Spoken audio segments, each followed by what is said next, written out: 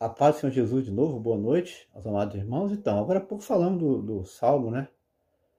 É, esse Salmo aqui, 126, e agora continuamos no Salmo, só que mais atrás.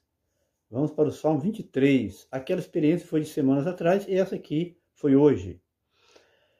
E o tema, Salmo 23, vamos ler primeiro, né? Até o versículo 4, que nos fala assim: O Senhor é meu pastor e nada me faltará.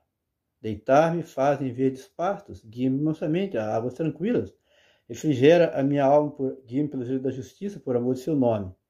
E ainda que eu andasse pelo vale da sombra da morte, não temeria mal algum, porque tu estás comigo, a tua vara e teu cajado me consolam. Talvez um dos, capítulos mais conhecidos da Bíblia, mais recitado, mais conhecido, é o Salmo de 3, que é o Salmo do pastor.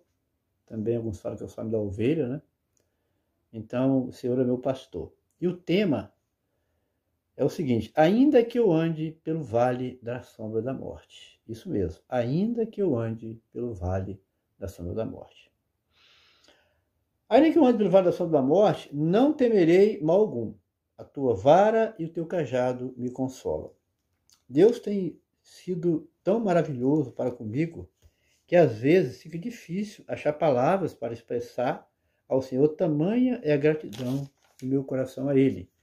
Eu havia terminado de anotar a mensagem primeira, hoje, acerca dos quatro leprosos na entrada de Samaria. Faz apenas alguns, fazia apenas alguns minutos, eu me coloquei de joelhos para o segundo período de oração dessa madrugada. Assim que eu me ajoelhei, veio a mim essa palavra da parte do Senhor. Tem sido assim, meus amados? Tem sido impressionante a maneira como Deus tem nos dado mensagens. Não merecemos tanta bênção assim. Dizendo, ainda que eu ande pelo vale de sombra da morte, não temerei mal algum. Meus amados, eu não sei o que se passa comigo nesses dias, mas o Espírito Santo me revela que dentro dos nossos contatos, que tem tido a curiosidade de nos seguir no, WhatsApp e agora no YouTube, existem pessoas que estão passando por situações difíceis, por provas, pelo verdadeiro vale da sombra da morte. Por isso essa palavra de Deus, né? Você pode pensar, acabando agora, não existe mais solução pode pensar, fim da linha para mim. Não, meu irmão ou irmã, não diga assim. A palavra do Senhor veio nessa noite para você e o socorro do Senhor vem. Ainda há uma luz no final do túnel. A solução vem lá do alto. Quero dizer, por experiência própria, que Deus está te vendo. Ainda que os seus parentes, seus amigos te abandonaram, o Senhor não esqueceu de você. Entende? Diz a palavra que o seu nome está gravado nas mãos de Deus. O Senhor jamais esquece ou abandona os seus filhos. Creia nisso. Ouça que a palavra do Senhor diz nessa madrugada foi por causa de você para alcançar, para abençoar, apenas creia. Ainda que eu ande pelo vale da sombra da morte. O Senhor é o meu pastor, nada me faltará. Meus irmãos, esse salmo é maravilhoso, né? Uh, Davi aqui está falando das, das dificuldades né, do pastor ali, lugares difíceis, que era chamado Vale do Sono da Morte. Mas ele diz o quê? Não temeria mal algum. Por quê? Porque tu estás comigo.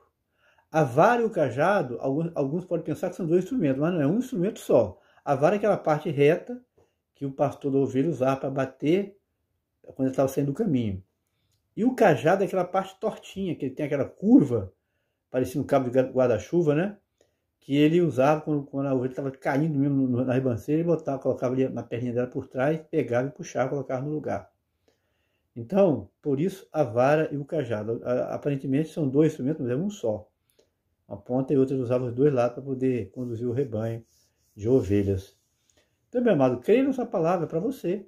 Você pode estar andando, passando por dificuldade aí, difícil na prova, como eu já passei, todos os cristãos passam, tem um momento de dia mal, dia de lutas, dificuldades, diversas razões, pode ser, mas essa palavra veio para falar com você. Creia nisso, que o Senhor está com você, Ele está te olhando.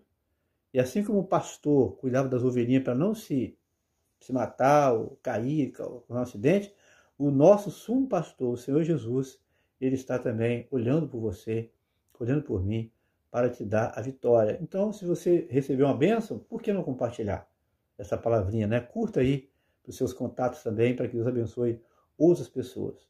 Se lembre do like. Como eu já falei um dia desse, nós mandamos uma mensagem aí curta para nosso contato, creio que cento e tantas pessoas devem ter visualizado, só que no apareceu 40. Porque falta aquele like, né? Você visualizou, mas você não, não clicou no like, deu like, joinha. Também compartilha. Também clica no sininho das notificações. Se inscreva no canal. Você vai estar prestando um excelente serviço, fazendo uma boa ação para com Deus, primeiramente, porque Ele é que tem sido, Ele que é o autor desse canal. Final da semana, certamente teremos mais um motivo de oração para apresentar e vamos, e vamos mostrar de novo que Deus continua revelando, mostrando a direção.